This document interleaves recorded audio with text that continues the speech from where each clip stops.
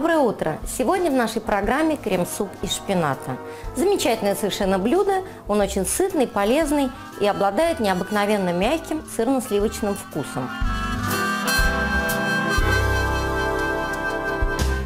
Нам понадобится очень мало продуктов. Это 300 граммов шпината свежего, 300 граммов бульона овощного. Далее нам понадобится 2 тостовых кусочка хлеба для крутонов, 3-4 зубчика чеснока, 200 граммов сливок и яйцо пашот. В двух словах я вам напомню, как делать яйца пашот.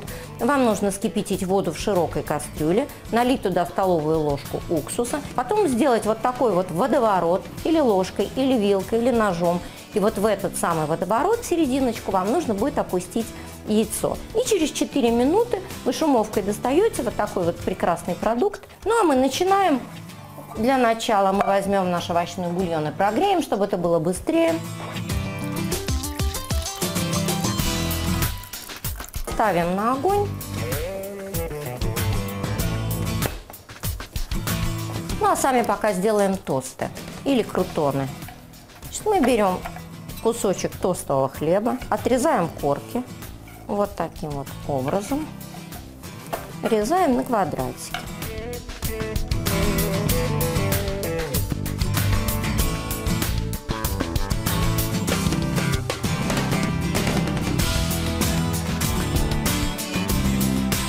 Разложим в один слой. Возьмем оливковое масло, вот так вот сбрызнем. Перемешаем. И отправим в духовку минут на 7-10 для того, чтобы они позолотились. Ну а за это время, конечно, мы сделаем суп.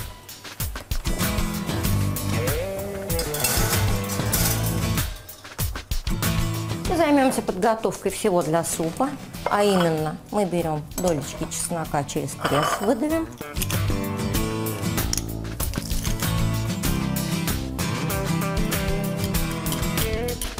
И теперь нам нужно будет порезать шпинат. Шпинат мы порежем крупно.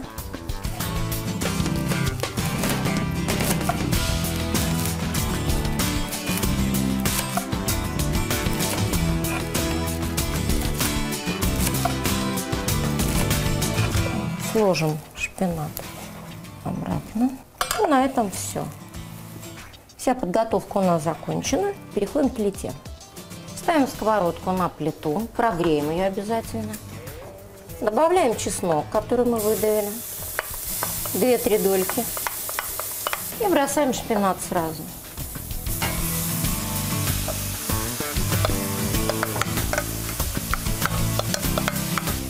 Нам надо подождать минутки 3-4, когда он увянет.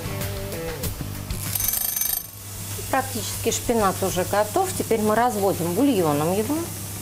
Буквально стаканом, немного надо налить. Всегда сможем подлить. Теперь вот так поварим его, чтобы бульон варился в половину. Ну, это тоже минутки 3-4. Ну, вкусы смешались уже, наверное. Теперь мы добавляем сливки. 200 граммов. Все это размешиваем. И увариваем опять в половину сливки.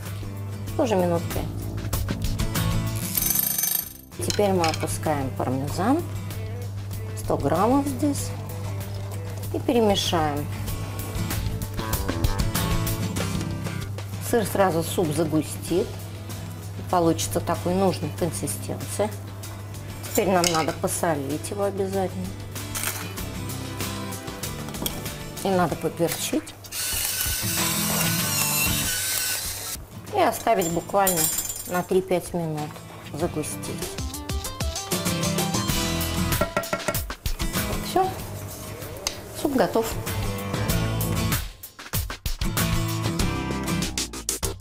Ну вот все у нас готово. Наш замечательный суп крема шпината, крутоны, яйцо пашот. Теперь нам надо только разлить это красиво в тарелке.